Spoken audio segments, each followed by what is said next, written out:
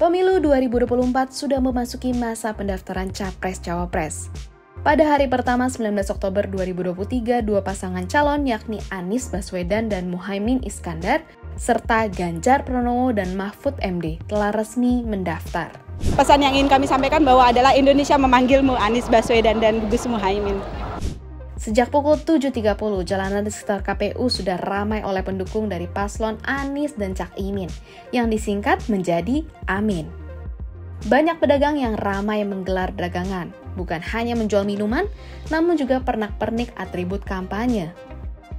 Penjagaan ketat dilakukan, pagar hanya bisa dilewati oleh pengunjung yang menggunakan ID.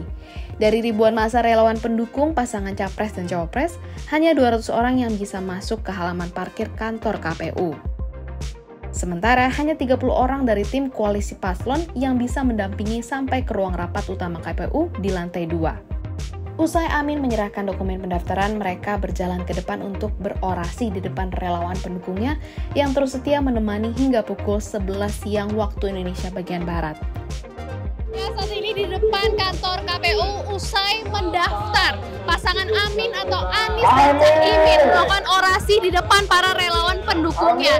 Salah satunya ada Bapak. Halo Pak. Ya, halo. Pak hari ini memberikan dukungan berupa apa saja Pak kepada pasangan Amin Pak?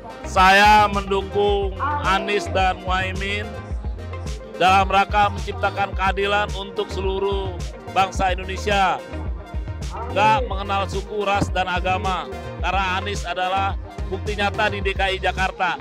Kebenaran saya warga DKI Jakarta yang sekarang tinggal di Kabupaten Bekasi.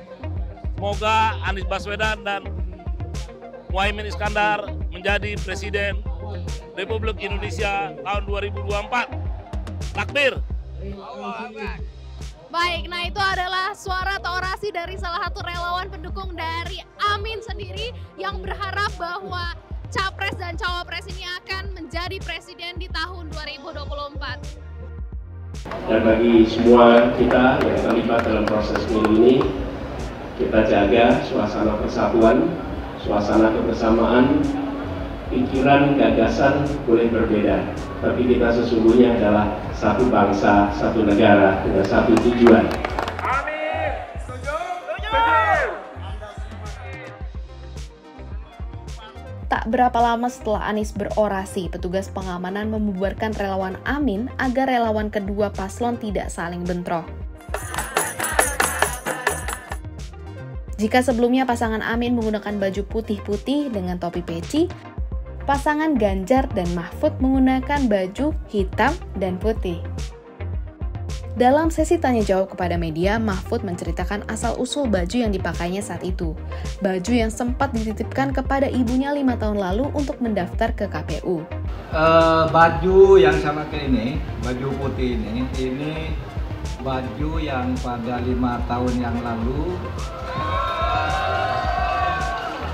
saya siapkan untuk dipakai mendaftar ke KPU tapi tidak jadi. Ya eh, beliau mendoakan saya terus mudah-mudahan berhasil dan tetaplah seperti yang selama ini menjadi anakku anakku yang selalu lurus jujur dan berbakti pada orang tua. Gitu pesannya.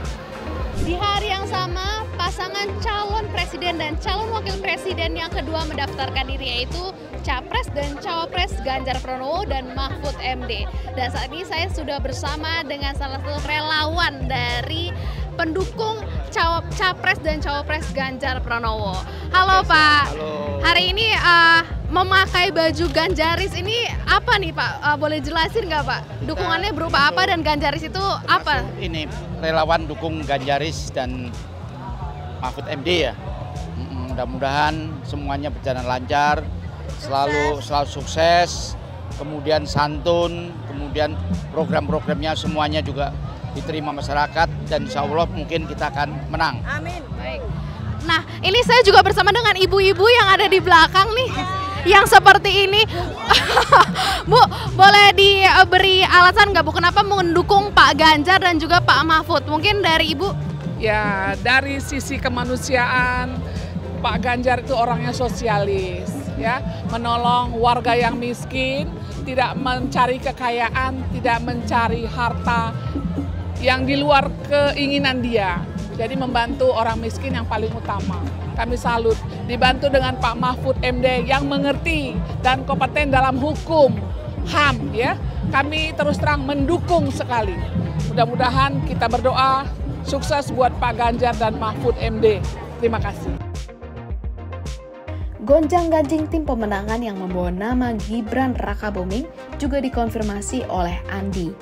Gibran seharusnya menjadi tim pemenangan Ganjar karena ia bagian dari anggota parpol PDIP. Namun kesediaan Gibran masih ditunggu konfirmasinya. Yang tak kalah penting dari kemenangan Capres dan Cawapres adalah tim pemenangannya. Bagaimana strategi kampanye yang dibuat oleh tim pemenangan agar tepat sasaran?